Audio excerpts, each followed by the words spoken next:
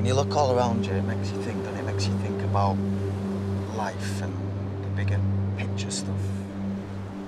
What did you want to be when you were growing up, if you could have been anything at all?